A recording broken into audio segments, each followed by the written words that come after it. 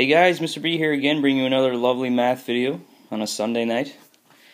Um, this video is on a seldomly taught way of factoring quadratics, or polynomials, or um, whatever you want to call them, uh, called Joe's method.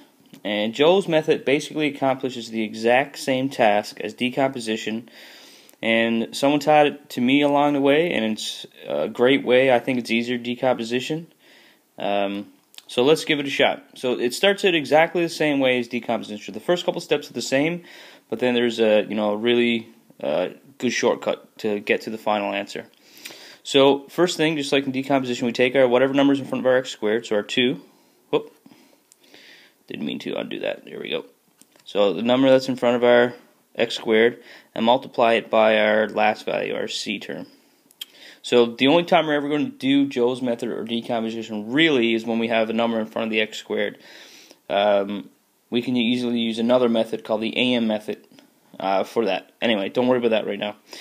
Um, so um, 2 times negative 2 is negative 4, so we're looking for two numbers that multiply to get us negative 4 and add to get us the middle term, negative 3. So we're looking what two numbers do that. So multiply to get negative 4, add to get negative 3. So it looks like the numbers are negative 4 and 1. So negative 4 plus 1, negative 3, negative 4 times 1, negative 4. So you have to kind of do that process with decomposition, and then what you do in decomposition is break down this middle term, you group, and you try to factor then you take out a common factor again, then you get your final answer. The beauty of Joe's method is all we need to do is take whatever's in front of our x squared here. So i am going to do it, highlight it, whatever's in front of our x squared, so our, um, you know, our 2. And what we're going to do is simply divide both of these terms here by 2. And if we have any fractions that are reducible, like this negative 2 over 4 is, is actually just negative 2, we reduce it down. So our two numbers now are negative 2 and 1 half. So 1 half is not reducible, we'll just leave it as 1 half. So what we can do is now we can write this in our factored form. So what it's going to look like is um, x minus 2 and x plus 1 half. So just like we would normally, this is like we're almost to the final answer of what we would get with decomposition. And the only thing is, you notice this with decomposition, is we don't ever have fractions um, as x plus a fraction. It's always x plus a whole number or an integer or whatever, right? So we got to get rid of this somehow, reduce, get rid of this fraction. So it's actually really easy. All we need to do is multiply it by the denominator. So if we multiply this bracket by 2, I end up with 2x. And then 2 times 1 half is just 1, so plus 1. So really, all I actually do is take this 2, throw it up in front there like that, and that gets me my factored form. So this right here is my final answer. That is the factored form of that guy. So really, really easy way of factoring a quadratic um, or complex. Sometimes you hear it call it a, a complex trinomial. Um, you know, something that has a number in front of the x squared term. So it, you know, sometimes people have problems with Joe's method because you know you kind of just follow the procedure, but it gets us what we want. So that's why I kind of like it. If you're having trouble with decomposition and you're not sure where that's how to do that, then try Joe's method. I think it works. All right, let's try another one. So same same first step. 10 times negative 3. So what multiplies to get us negative 30 and adds to get us 13. So what two numbers do that? So um,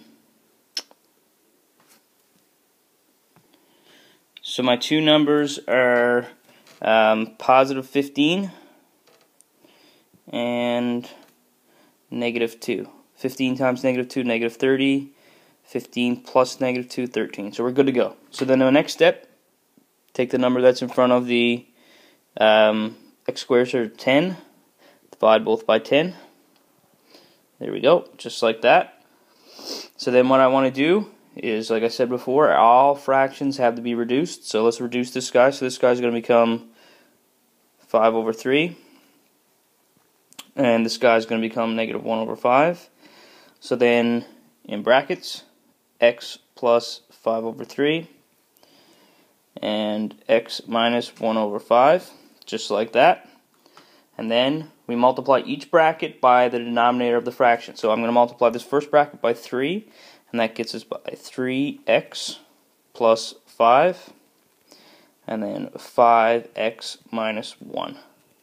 So there you go. That's the factored form of this guy. And if we want to check it, we can FOIL it out or distribute out, whatever you like to do. Um, you know, really, really good uh, method of factoring that guy. Let's do one quick uh, question.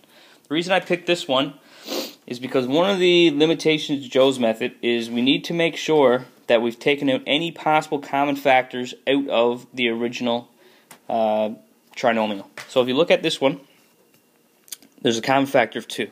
So what I'll do first is I'll take a 2 out, so I end up with 2, 2x squared plus, oh, minus, sorry, minus 11x minus 6.